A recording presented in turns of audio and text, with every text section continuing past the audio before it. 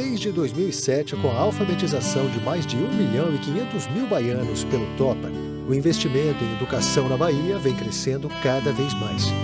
Agora, o governo do estado está investindo mais de 2,3 bilhões na construção e modernização de escolas. Mais do que investir, isso é acreditar. E acreditar é qualificar. Programa Educar para Trabalhar, com 200 mil vagas de cursos gratuitos. Acreditar é apoiar. Programas Mais Estudo e Bolsa Presença. Além do Vale Alimentação, que foi fornecido para todos os estudantes. Acreditar é abrir portas.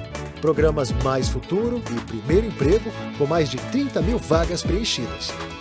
Acredite, essa história vai ter cada vez mais capítulos de conquistas. Porque na Bahia é assim. Aqui tem governo tamanho G, que cuida de gente. Governo do Estado. Bahia, meu orgulho.